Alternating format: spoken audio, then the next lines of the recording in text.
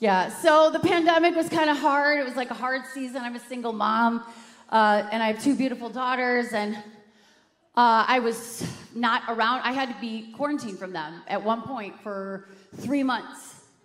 Three months.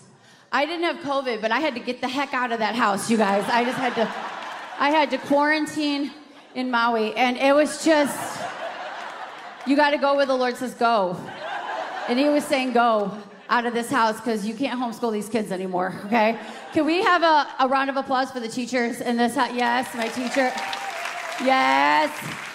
Because y'all, y'all had to educate some kids that were educated for a whole year by day drinking mothers. Yes, you did. And even you Christians were doing communion at nine o'clock. You're like, Jesus drank, and we all, it's five o'clock somewhere, okay? Do your sides.